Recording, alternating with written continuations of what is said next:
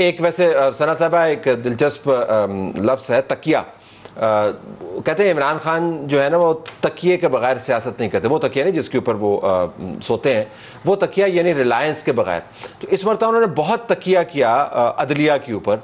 तो ये जो हम बात कर रहे हैं कि उन्होंने सोचा कि अदलिया किस तरीके से इंतबात हर हाल में करवाएगी अदलिया किस तरीके से उनको जमानतें भी देगी अदलिया किस तरीके से कौमी असम्बली की तहलील का मामला भी तय करेगी। तो ये तकिया उनको ले डूबा। आपका क्या ख्याल है? जी, तकिया नहीं है, तक ये है और मेरा नहीं ख्याल कि एक ही इदारा है। आई थिंक आपको भी your privy to lot of information मैं यही कहना चाहूँगी, एक तो और बात अगर ऐड कर लूँ, इससे पहले कि मैं ये बात करूँ कि those who don't respect the living do not respect the deceased at all और आज हमें ये बात मालूम होनी चाहिए कि अब शहदा हों या ज़िंदा इंसान हो वो इनके किसी काम के नहीं रहते। अगर वो किसी की बुराई और किसी की को जलील करने आते हैं तो वो नहीं देखते कि कौन ज़िंदा है और कौन नहीं है। यहाँ पर आके ये बात मैं आपको बड़ी क्लियरली बता दूँ सर साहब आपको भी your your privy to lot of information ये एक इदारा नहीं है। इदारे में आपको भी पता है आज़म स्वाति को फ़ोन करने का मतलब क्या था किसको फ़ोन करना था। आपको भी पता है जब कोई और लफ्ज़ यूज़ होता है तो उसका मतलब कौन होता है। और ये आपको नहीं पता कि कोर कमांडर लाहौर का क्या रिएक्शन था, आपको नहीं पता कि कितने लोगों के अपनी इंक्वायरियाँ चल रही हैं अंदर। तो ये एक इदारा नहीं है, ये फॉरन एजेंसीज भी आई एम श्योर इन्वॉल्व हैं। और इमरान खान साहब को यही बात करती रही हैं और he is gotten in to thick बहुत ज़्यादा मतलब अब बहुत कॉम्प्लिकेट हो गए हैं चीज़ें, क्योंकि अदलिया, क्योंकि कहते थे, मैं मेंटली प्रिपेयर्ड हो गया हूँ जेल जाने के लिए। तो उस वक्त लीगली प्रिपेयर्ड थे। फिर अब वो लीगली प्रिपेयर्ड है तो वो मेंटली प्रिपेयर्ड नहीं है। अब वो लीगल मैटर्स इतने ओपनली खुल के सामने आ गए हैं कि अब वो भी क्वेश्चनेबल हो गए हैं। अब जो बाहर बैठे हुए हैं, वो भी देख रहे हैं सिचुएशन को। अब ये बार बार एक कंस्पिरेसी थ्योरी बनाई जाती है कि ये नहीं बैठने देना चाहते, इनको साथ और ये नहीं करना चाहते। इमरान खान साहब एक तशद पसंद सियासतदान है, उनका ये रवैया है। उन्होंने यही किया जब वो पावर में थे, पकड़, धक्कड़, मार, पीट, बंद कर, इसको उठा तो उसको उठवा। तो ये कैसे बोला तो ये कैसे बोली? तो ये मिजाज जो है, वो ज़्यादा देर सियासत पर चल नहीं सकता। तो सियासी पार्टी को आप कालादम बनाना चाहें, ना बनाना चाहें, लेकिन इसकी आप जो डूइंग है it has taken above twenty two decade से ये काम हो रहा था। अब अनरेवलिंग तो शुरू हुई है सर अभी तो आगे आगे देखिए होता है क्या? और मुझे सिर्फ़ ये एक एक अगर कोई मुझे एक एक सर्टिफिकेट दे दे या कोई मुझे एक मुआदे पे बात हो जाए, हुकूमत बैठ के मुआदा कर ले कि इसके बाद फौज ये कह देगी कि अब हम ये कफालत करना और लोगों को गोद लेना बंद कर देंगे। अब इमरान खान बोलता लास्ट प्रोजेक्ट इन पाकिस्तान अब हम नहीं आएँगे। क्या ये बात हम भुट्टो साहब की फांसी के बाद कह सकते थे? क्या यही बात हम उनसे उम्मीद कर सकते थे जब उन्होंने पहली दफ़ा हाईजैकिंग केस में नवाज़ शरीफ को इन किया, फिर जिलावतन किया? क्या ये मालूम था कि फिर करेंगे फिर करेंगे फिर करेंगे? क्या ये बाज आएँगे? क्या ये हमें लिख के दे सकते हैं कि हाँ अब हमने गोद किसी को नहीं लेना, अब कफालत प्रोग्राम खत्म हो गया अब कोई अपने अपने बल पे आए। तो ये अगर थोड़ी सी ये हमें तय कर दें तो फिर मामले को हम सपोर्ट कर सकते हैं, वरना हम नहीं सपोर्ट कर सकते। ये कफालत वाला कितना आपने अच्छा इस्तेमाल किया, क्योंकि कफालत वाले जो होते हैं ना, आखिर में जलालत उनके मुकद्दर में होती है।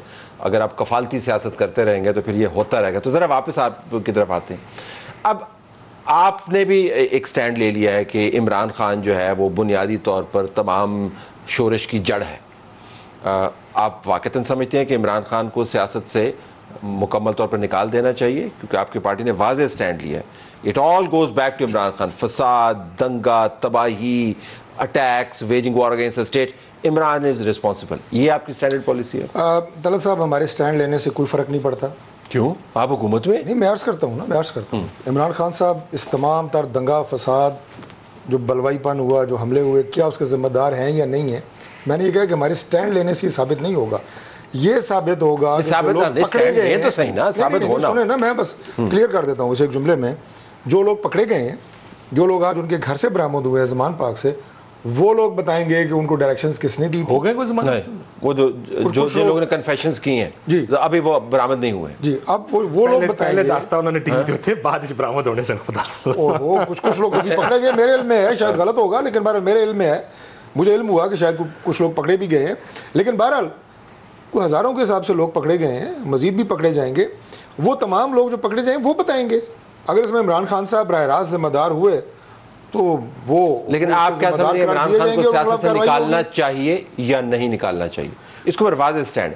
क्योंकि जब इमरान खान जब ताकत में थे ना तो गुजारिश। तो वो बड़े वाज अंदाज से कहते थे कि नवाज़ शरीफ का कोई रोल नहीं है जरदारी साहब का कोई रोल नहीं है मरीम नवाज़ का कोई रोल नहीं है। इन सबको मिनहा कर दें। आप, आप- मिनहा कर दें निकाल दें। आप पाकिस्तान तरीके इंसाफ के किसी ऐसे सियासतदान से पूछें जो लॉन्ग टर्म पॉलिटिक्स पे यकीन रखता हो कि क्या इमरान खान साहब की सियासत सामने तो नून लीग दा सियासतदान बैठे हैं मैं उनको पूछ रहा हूँ नहीं दस रहा हूँ, वो भी आपको कहेंगे कि ये सियासत नहीं चलेगी। आप बताएँ ना आप इमरान खान साहब की सियासत शॉर्ट टर्म सियासत है फितना फसाद की सियासत है ये पाकिस्तान में नहीं चल सकती। ये पाकिस्तान के सिस्टम सियासत नहीं चल सकती या इमरान खान नहीं चल सकते। फंडामेंटली डिफरेंट थिंग नहीं नहीं इमरान खान की मैं बात कर रहा हूँ ना। उनकी स्ट्रेटजीज So, इमरान खान को सियासत बदर कर देना उनकी चाहिए। जबान ये पाकिस्तान मुतामिल नहीं हो सकता। So that's a clear step बिल्कुल क्लियर स्टैंड है। ये पाकिस्तान मुतामिल नहीं हो सकता। ये क्या उस तरफ़ जा रहा है मामला? कोशिश तो यही है। देखिए मैंने कहा ये आज ये तो या तो होता ना कि बाकियात के बाद ये बयान नून लीग दे रही होती कि सियासत से बाहर निकाल देना चाहिए। तो मैं कहता कि एक ऑर्गेनिक चीज़ है कि पहले ये सोचते थे कि पॉलिटिक्स लड़ना है हमने इसके साथ इलेक्शन लड़ेंगे। ये बयान बहुत पुराने हैं ये फितना फसाद है। पचास हज़ार बयान आप निकाल सकते हैं अगर आप कोशिश करें। तो ये तो पहले से अ, इनकी पार्टी ये कह रही थी कि इसको सियासत से बाहर निकालना चाहिए। सो कोई नई चीज़ नहीं है ये सियासत से बाहर निकालना चाहिए। अब होना क्या?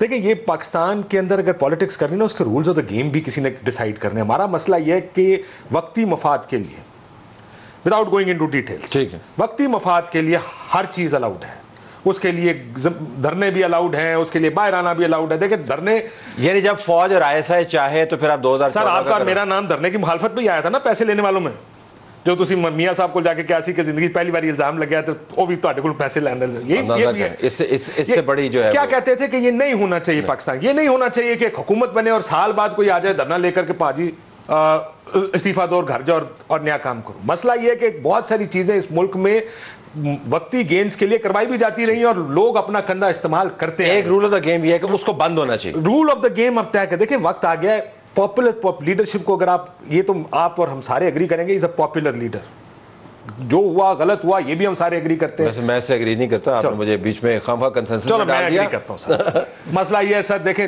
मकबूलियत का म्यार क्या है? जिमनी इलेक्शन दो दो इलेक्शन जीते ना उसने जो जिमनी इलेक्शन छोटे लेवल पे ऊपर कराची के बलदियाती को आप नहीं कराची हार गए ना बट दो इलेक्शन तो जीते केपी के बलदियाती के दो First phase। हाँ फ़र्स्ट फ़ेज़ में। तो वो देखिए फ़र्स्ट फ़ेज़ हुआ था इमरान खान हुकूमत गिराने से पहले। सेकंड फ़ेज़ उन्होंने जीती।